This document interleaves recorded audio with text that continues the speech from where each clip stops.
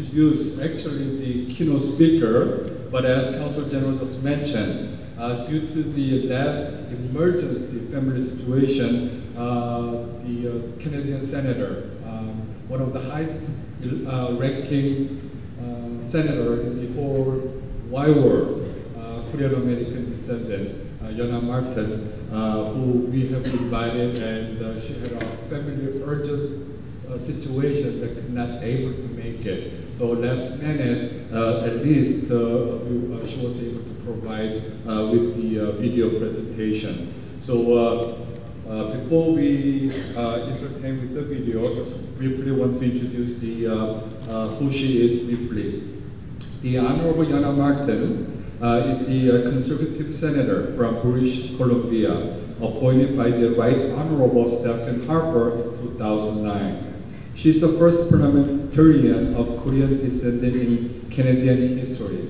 Currently, she is the deputy leader of the opposition in the Senate and previously served as deputy leader of the government in the Senate from 2013 through 2015 and deputy whip of the government from 2011 through 13. She is also a co-chair of the Canada-Korea Interparliamentary Friendship Group since 2009 founding co-chair of Canada Bulgaria since 2014, and a director on the executive of several other parliamentary associations and groups. In 2013, her Senate Public Bill S-213 received royal assent to designate July 27 annually as a Korean War Veterans Day in Canada.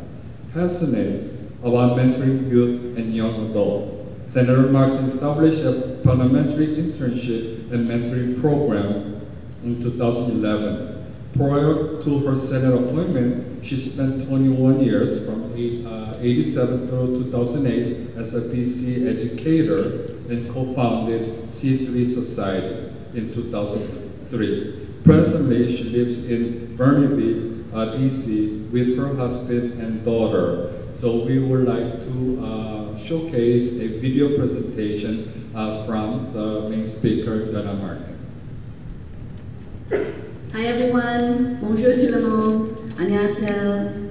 Senator Yonah Martin of Canada sending my very best wishes for a very successful Global Young Leadership Conference today. I'm sorry that I'm not with you in person uh, due to circumstances, but please know that my words sent by this greeting is absolutely heartfelt.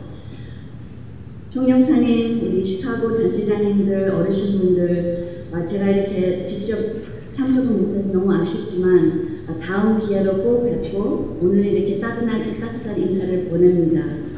To all of the conference participants, what a wonderful blessing for you to have in your midst leaders like the Honorable Jun Lee and other presenters today and others who have also poured in so much time and investment into making today's conference possible. I know there were several partnering organizations, and to me it is just a sign of their commitment to all of you in building not just a better future, but really investing in the lives of those leaders that will take us farther into the future. So all of you, all of us today are part of this global community. And I know that uh, what you will be discussing today, uh, perhaps taking in the insights and the experiences of uh, professionals, as well as just the wisdom and inspiration for your own dreams to be realized, how important and critical it is for our entire world. Um, I'm a Canadian of Korean descent, a proud daughter of Korea, where I was born. I immigrated to Canada when I was seven years old, and I'm a proud Canadian citizen, and today before you as a Canadian senator.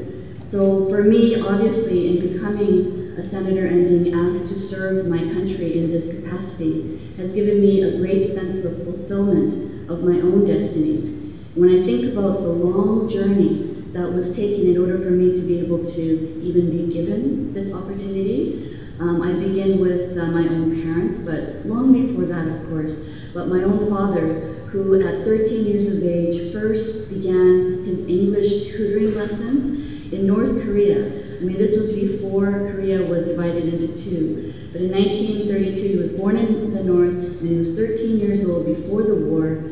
that he fell in love with the English language and dreamed one day of pursuing his studies abroad. Now that dream was realized a little bit later after three children uh, were born and conceived. Um, and my father left South Korea to study in Chicago. Uh, he did his Master of uh, Business Administration um, and eventually settled in Canada where, where we joined him a few years later. I was four years old when he left Korea.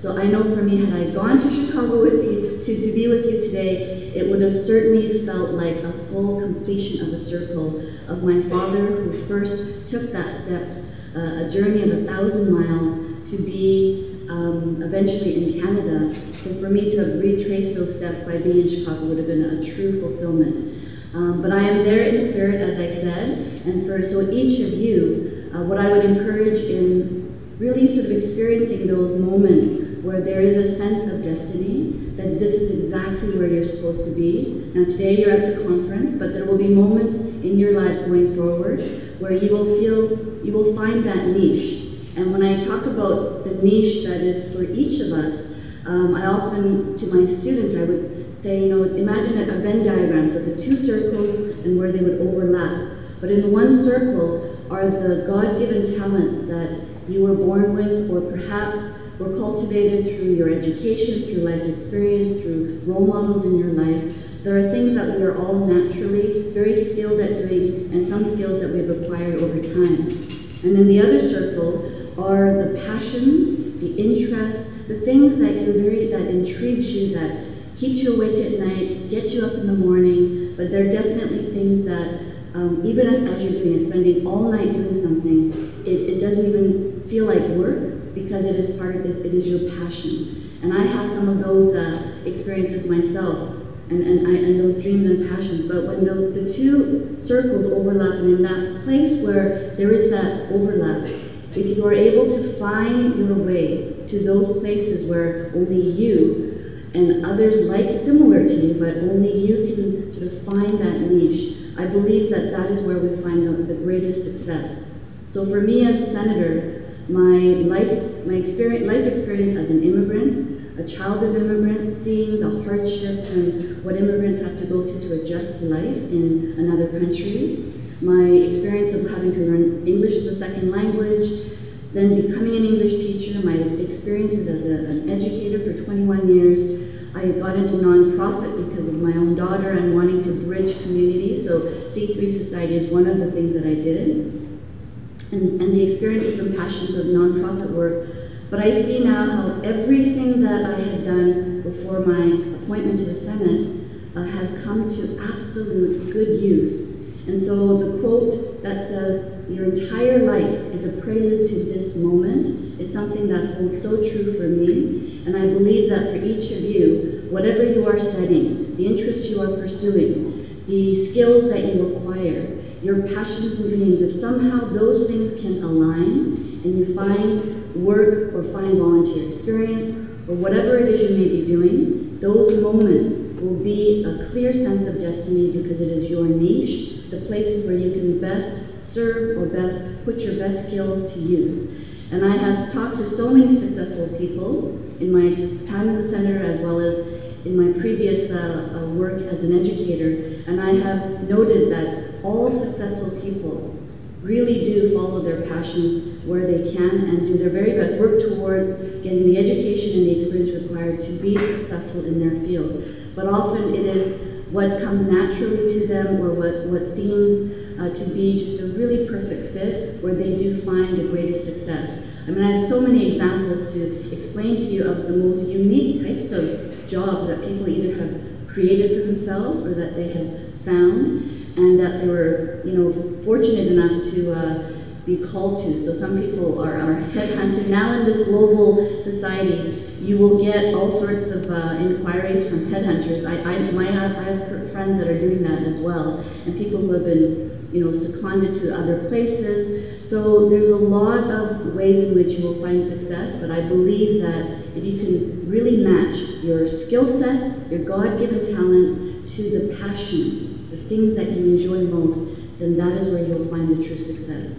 You know, we are in very, very historic times. Uh, for the United States, I think about the victims of um, Harvey at this time and all those that are trying to rebuild their lives. I mean, first of all, to, to get to safety and rebuild their lives. So I, I'm mindful of just some of the hardships that are befallen, that have befallen people in the United States and around the world.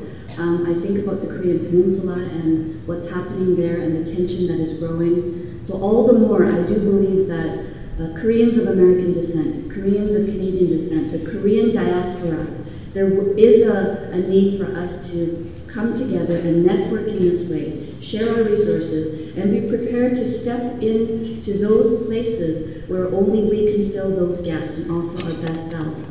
So in this historic time, uh, 2018, uh, Korea set to host the Pyeongchang Olympic and Paralympic Games. Uh, Canada, right now, we have our 150th anniversary. I know the, your American history is longer, but the Canada-Korea history, as I have researched, is so intricately interwoven over 150 years. And I know the first pioneers to the United States of Korean descent you know, with their sweat, blood, and tears, the foundation has been built, and all of you, including myself in Canada, we are standing on this firm ground built through many, many hours and years of toil, sweat, blood, and tears. I know that.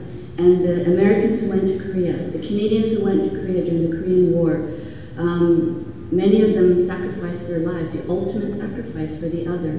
And they are buried in the United Nations Cemetery or buried at home. I've been to the memorial. So for me personally, uh, in my work as a senator, in understanding my own history, ancestry, from which I have come, has allowed me to really see with greater clarity my present and my future in the best way that I can serve as a Canadian of Korean descent. I personally see myself now as strong as uh, two people, I say. So Canadian and Korean, my Korean ethnicity, the, my DNA uh, that courses through my veins, the, the history and the legacy that I've inherited. Um, all of you have that same shared collective history of Korea's amazing, long-standing history of dynamic, beautiful uh, culture and tradition, as well as just the real pain and hardships of our ancestors who overcame. I think Korea is one of the most invaded nation, if not the most invasion, invaded nation in the history of the world. We come from a people of kings and queens and warriors and freedom fighters and scholars. Um, I know that. I feel that in my own veins as I'm facing challenges and I'm having to dig deep and come up with that courage. But I know each of you share this collective history with me and as American Koreans, I encourage each of you to find your niche in life, to fulfill your own destiny, to be global leaders as you are today and will continue to be in the future, even better leaders. So to everyone who made today's conference possible, thank you so much. Congratulations. I look forward to seeing you in person uh, in the near future. Félicitations. Merci. 감사합니다.